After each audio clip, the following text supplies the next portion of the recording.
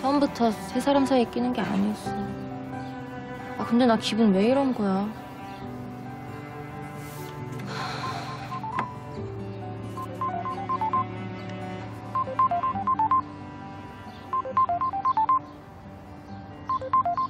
야, 은퇴! 에이, 진짜. 전화 왜 안 받냐? 보고 싶어지니까 목소리 들으면. 펜션에서 여기가 얼마나 먼데. 어펴. 아, 발 저린 거거든. 아, 얼른.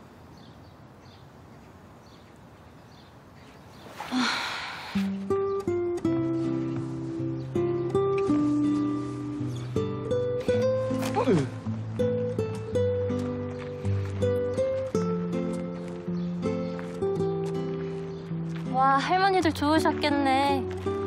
세상이 달라 보인다. 고마워. 나 찾아줘서.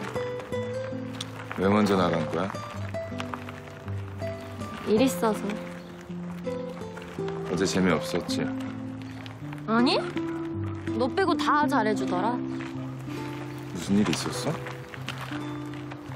아니라니까.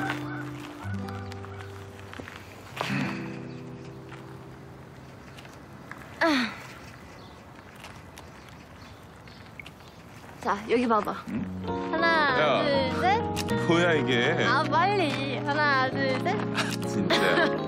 하나, 둘, 셋. 뭐야? 아, 봐봐. 찍어. 아니, 하나, 둘, 셋.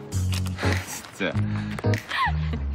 아니, 놀러 왔는데 사진이 한 장도 없잖아. 에이, 그냥 찍자고 하면 되지, 뭘. 아, 어제 별 보러 가려고 했던데 지금 가자. 안 돼. 애매하게 출발하면 길 막혀. 그럼 서울까지 다시 업고 가자. 야, 서울까지 업고 가려면 자고 가야 되는데. 그러지 뭐.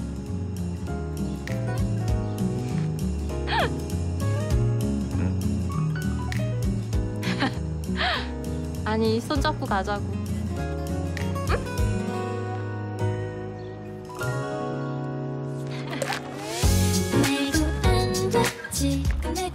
내 걱정돼서 따라왔구나. 응, 아니다. 맞는데 뭘? 네 눈은 거짓말 못해. 알아. 내 눈은 신데렐라의 거울이라고 하더라고. 거울은 백설공주인데. 세주가 한 말이구나. 어떻게 알았어? 아, 걔는 왠지 틀릴 것 같아.